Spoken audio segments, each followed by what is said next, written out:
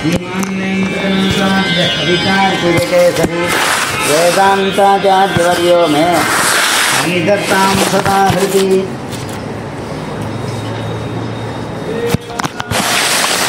நம்ம சம்பிரதாயத்துக்கு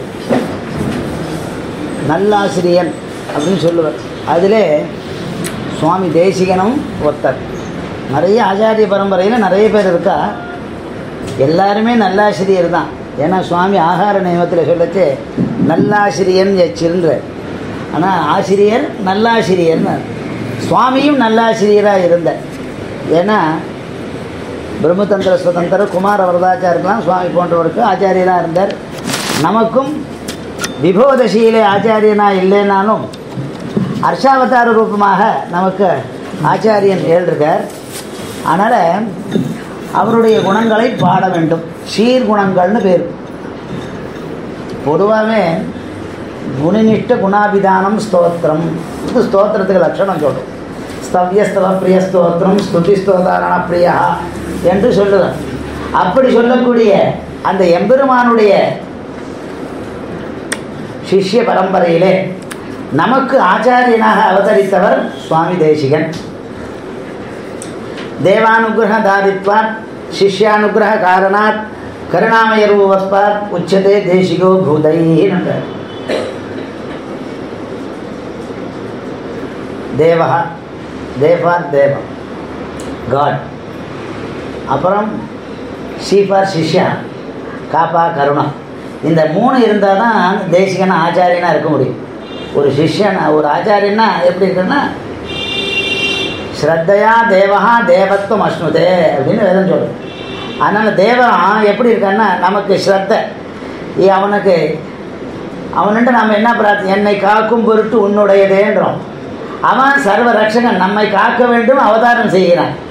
அப்படி நமக்கு நன்மை செய்ய வேண்டும் என்று நல்வார்த்தைகளை உபதேசம் செய்தார்கள் ஆச்சாரியர்கள். அதிலே ஆளவந்தார் நாதமுனிகள் ஆளவந்தார் யாமுன முனிகள்னு சொல்கிறோம் அந்த யாமுனிகளுக்கு யாமன முனிகளுக்கு அப்புறம் ராமானுஜ முனி.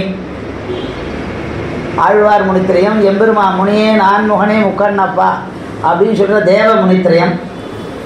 தேவாதி தேவன் அப்புறம். அதுக்கப்புறம் தேவர்கள் ஆழ்வார்கள் முனித்திரையம். அப்புறம் ஆச்சாரிய முனித்திரையம்னு சொல்லுவார். அந்த மாதிரி அந்த முனித்திரையத்திலே ஆழ்ந்த ஒரு முனியாக வாழ்ந்த மகான் சுவாமி தேசிகன். கிரகஸ்தாசிரமத்திலே இருந்து கிரகஸ்தாசிரம பெருமையை எல்லாரும் அறிய வேண்டும் என்பதற்காகவே அந்த துரியாசிரமத்தை சுவீகரிக்காத ஒரு பிரதான ஆச்சாரியனாக எழுந்தருளிந்த பெருமை சுவாமியை சாரும் தேசிகன். அப்போது அதில் அந்த சுவாமியுடைய பெருமையை சொல்லச்ச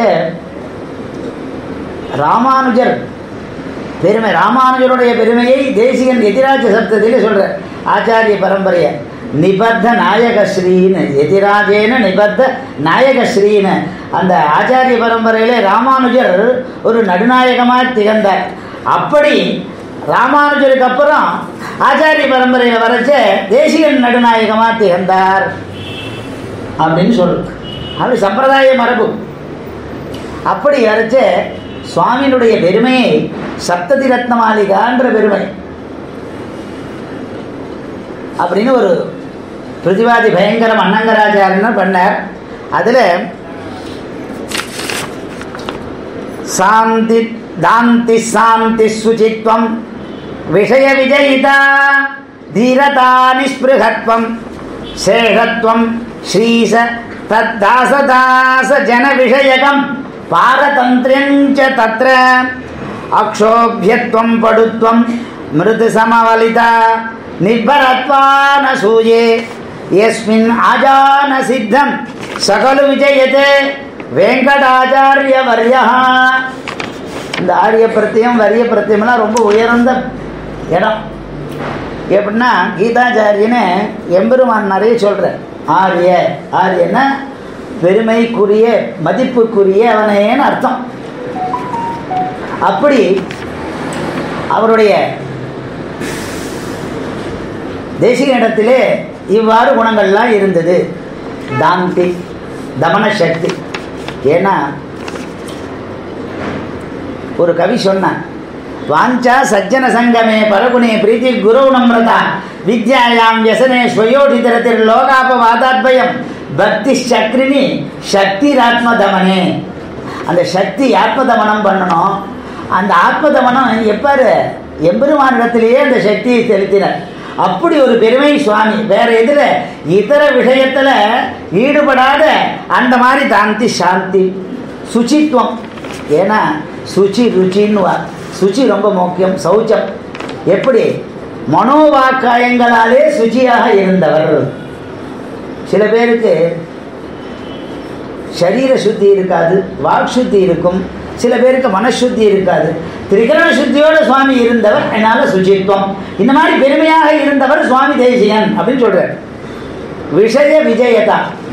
ஜாயத்தே விஷயான் பும்சா சங்கஸ்தேஷு உபஜாயத்தே சங்க சஞ்சாயத்தே காம காமா குரோதோபி ஜாயத்தே குரோதாத் பவதி சம்மோக சம்மோக ஸ்மிருதி விப்ரம ஸ்மிருதி பிரம்சாத் புத்திநாசா புத்திநாசாத் பிரணஷ்யதி அவர் சொல்றது நிர்விஷ்டம் எதி சார்வபௌம வஜதாம். ஆவர்த்தி பெரிய யௌவனம்னு.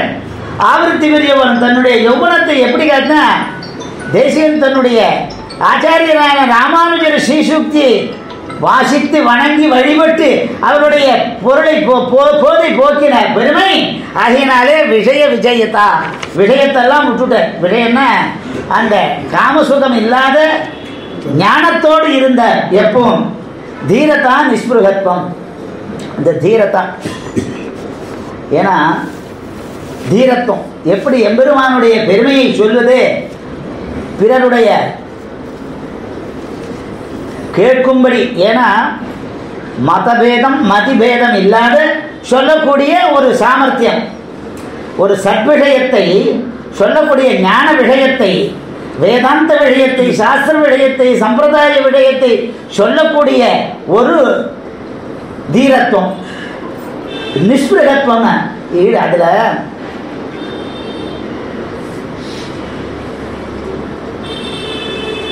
பற்றற்ற எண்ணம். எதிலையுமே பற்றற்ற. ஒண்ணே ஒன்று பற்று. எம்பெருமானை பேச வேண்டும் எம்பெருமானை ஸ்தோத்திரம் செய்ய வேண்டும் எம்பெருமானுக்கு தொண்டு செய்ய வேண்டும் என்றதுல பற்று தவிர்த்து மீறு இதர விஷயங்களிலே பற்று இல்லாத ஒரு மனிதர் அப்படி இருந்த ஆச்சாரியன் சேஷத்துவம் ஏன்னா நம்மளுடைய எம்பெருமானை காட்டிலும் வேறு ஒருவனுக்கு தஞ்சம் இல்லைன்ற தன்மையை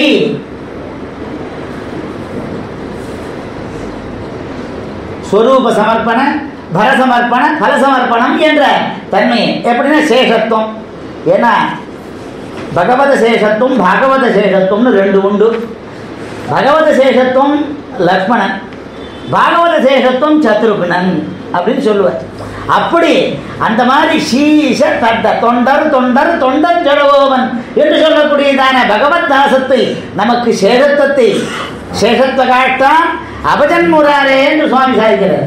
அதனால் தொண்டர் என்ன அவரும் சடகோபன் என்ன சொல்றார்? தொண்டர் தொண்டர் தொண்டன் சடகோபன் சொல்லக்கூடியதான. சரமாவதி தாச தாசா அப்படின்னு எல்லாருக்கும் பகவத் தாசத்துவத்தை தெரிவிக்கக்கூடியதான பாகவத சாரத்துவம் முக்கியம் அப்படின்னு தெரிவித்து பாரதந்திரியம் சுதந்திர நாம் சுதந்திரன் அல்ல. அவனுக்கு எம்பெருமானுக்கு ஒருவனே ஒருவன் அவன் ஒருவனே சுதந்திரன். நாம் அவனுக்கு பாரதந்திரிய பூதன் என்ற தன்மை தானும் தெரிந்து கொண்டு அதை பிறரும் தெரிய வேண்டும் என்ற தந்திரத்தை நமக்கு தெரிவித்தார். அப்பேற்பட்ட சுவாமி அக்ஷோபியத்துவம். ஏன்னா தத்துவஞான பிரதிபாதன பலரா இருந்த அப்படி ஒரு பெருமை படுத்துவம் கிரகணதாரண வாழா நடு ஸ்தனந்தயா அப்படின்னு.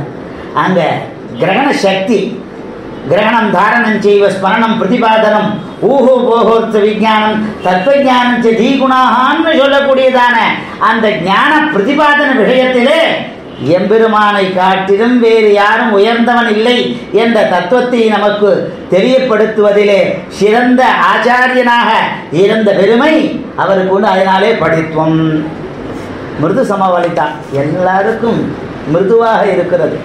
எல்லாம் சில பேர்